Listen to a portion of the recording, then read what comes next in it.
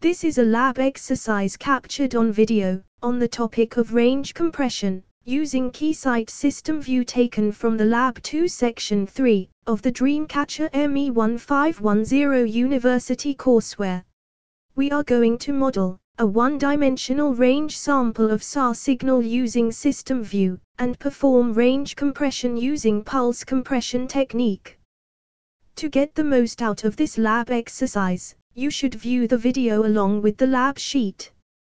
Please download the lab sheet from this link. You may want to pause this video to read the lab sheet first, before proceeding with the video streaming.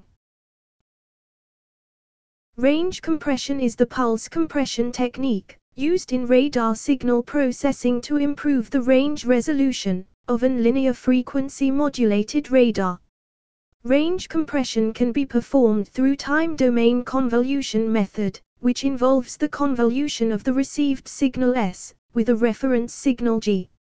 Or frequency domain multiplication method, functions are Fourier transformed and multiplied in frequency domain.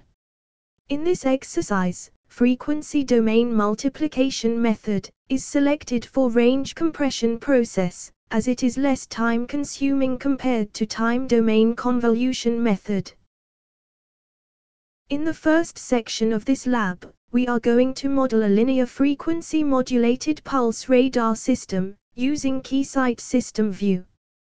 We will first create a one-dimensional SAR signal modeling, with single-point target return, then followed by two additive targets modeling, to determine the minimum detectable range between two targets. First, we are going to create a new blank workspace in SystemVue. In order to ease the parameter settings, you may make use of Equations tab, and create common variables under it. The syntax follows the standard MATLAB code format.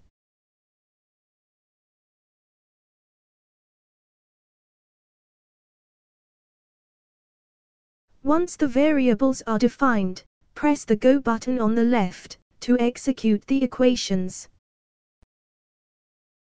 In Data Flow Analysis dialog box, set the stop time to 1 microsecond, and system sample rate to 2 GHz.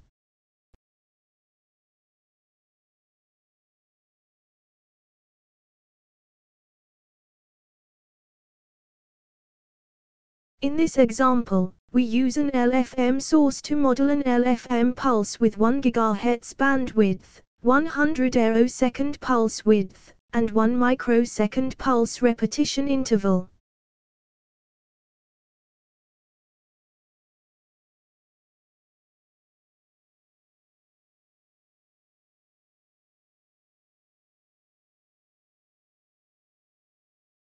The CX to ENV and the ENV to CX models are used to simulate the up and down convert mixers with carrier frequency FC equals 4.3 GHz.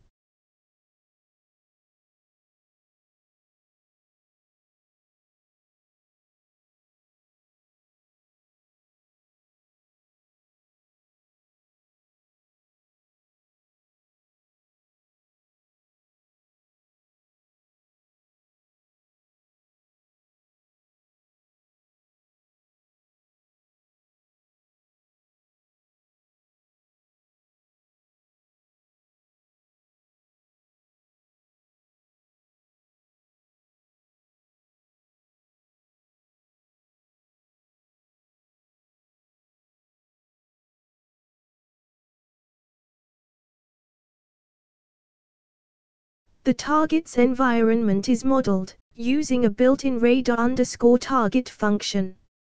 Set the target's distance to 3 meters.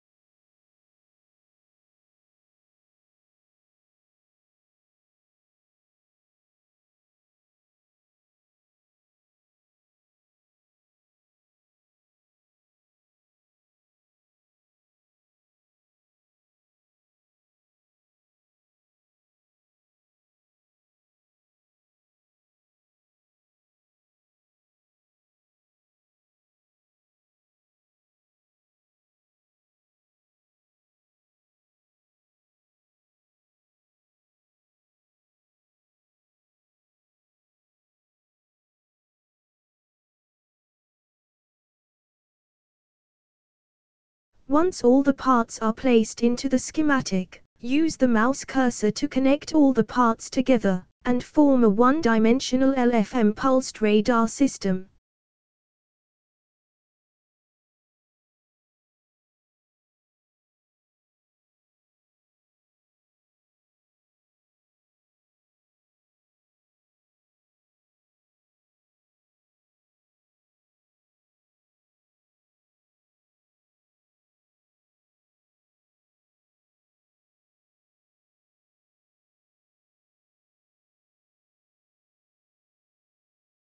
You may define the properties of each part in the LFM pulsed radar system easily, by using the variables defined in Equations tab earlier.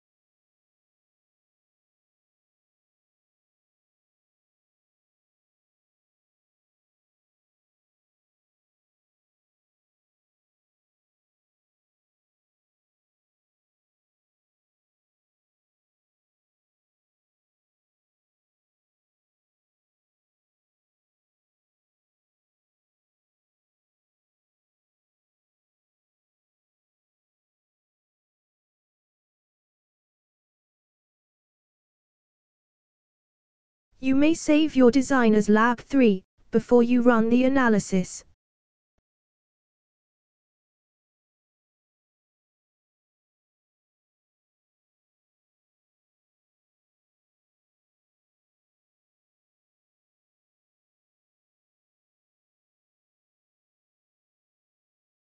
Note that, you have completed your design of one-dimensional LFM pulsed radar, you may run the analysis to observe the transmitted LFM pulse at transmitter and receiver. From the data set of the analysis, plot a y versus x graph to find out the distance of the target, based on the time difference of the transmitted signal and returned signal.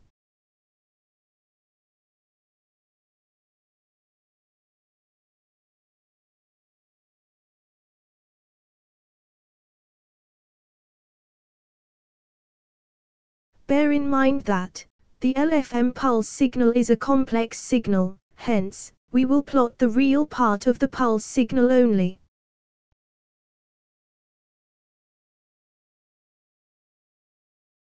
After added the transmitted signal into the graph, next, we will add the received signal into the graph as well.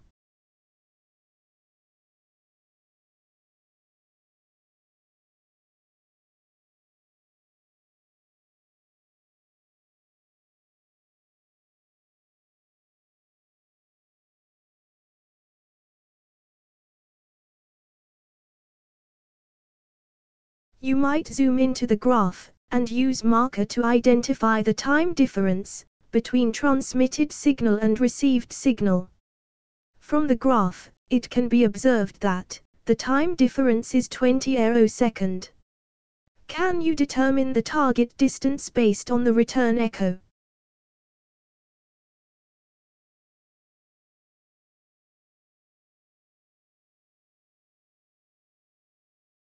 Now, assuming there is a second target located at 3.15 meters, model the second target in the LFM pulsed radar schematic.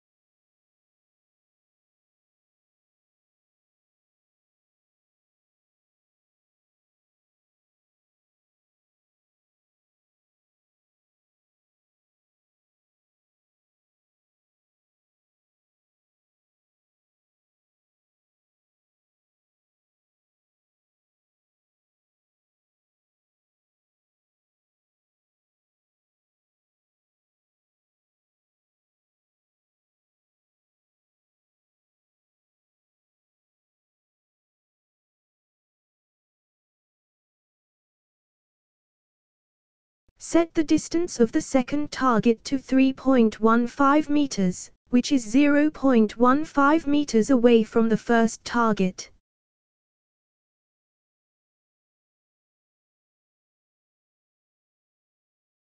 Run analysis again, to observe the changes on the signal graph.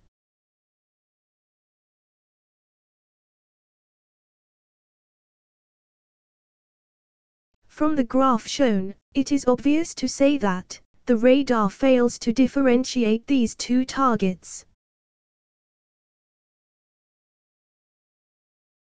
In order for the radar to differentiate two different targets, the minimum difference of two targets distance is 15 meters, as the minimum detectable range between two targets is limited by the width of the transmitted pulse. You may verify it by changing the distance of second target and run the analysis again. To improve the range resolution of an LFM radar, pulse compression technique is commonly used. Pulse compression can either be achieved using time domain convolution method, or frequency domain multiplication method. Two extra components will be added onto the existing radar model, to generate the matched source signal for pulse compression, and to perform actual pulse compression. Add the two extra components from radar parts library to existing schematic and define the pulse repetition interval to the variable defined earlier.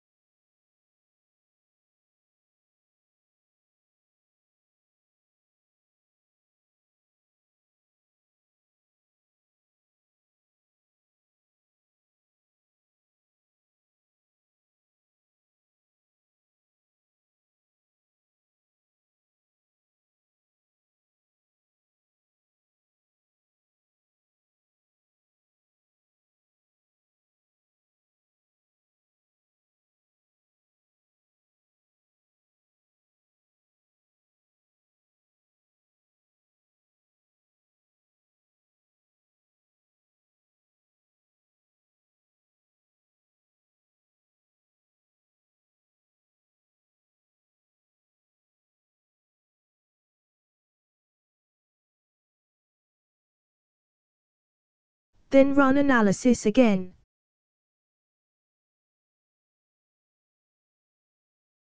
Next, plot the waveform of the range compressed signal with respect to range. To convert the x-axis of the signal plot from time scale to range scale, use the following equation, range equal to c multiply with time divide by 2.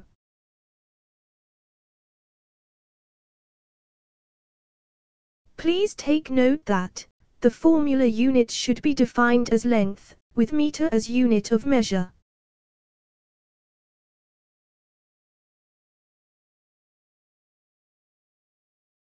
To add a new graph, open the Graph Series wizard, and select X data as range, and Y data as S5.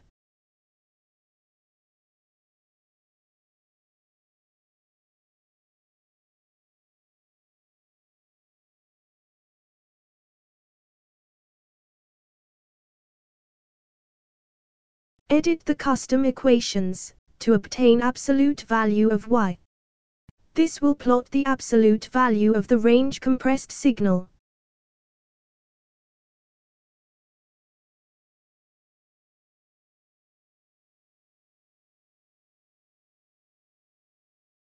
Adjust the scale of the graph plotted, and use marker to find the distance of both target. From the marker, it can be seen that the first target is located at 3 meters away from the radar, while the second target is located at 3.15 meters away from the radar. And the distance of both targets is 0.15 meters. By comparing the minimum detectable range of 15 meters of the LFM pulsed radar system without range compression, range compression technique has greatly increased the ability of the radar system to identify different targets in narrower range. In this lab session, we have learned to use Keysight SystemVue software to model a LFM pulsed radar system with single and multiple targets.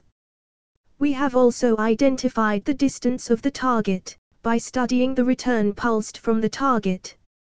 Lastly, we have also employed range compression technique in Keysight SystemVue software in order to improve the range resolution of the LFM pulsed radar system. Thank you for viewing ME1510 lab on video. For more labs on video, please visit